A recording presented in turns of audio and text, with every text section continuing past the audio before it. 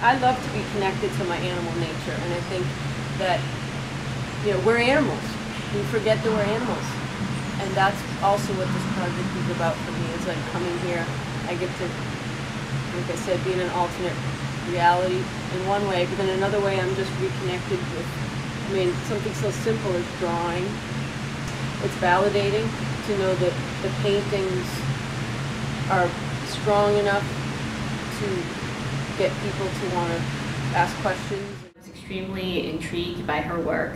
I just love the way the, the brushstrokes are, um, and I love the depictions of the animals and the apes.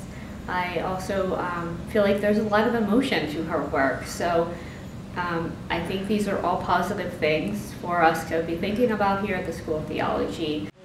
People like to ask me why why gorillas, I've come to realize is they're kind of this in between the human world and the animal world. They represent that because they're so much like us, but then they're so still rooted in the animal world. And you know, I sometimes want to be more like them.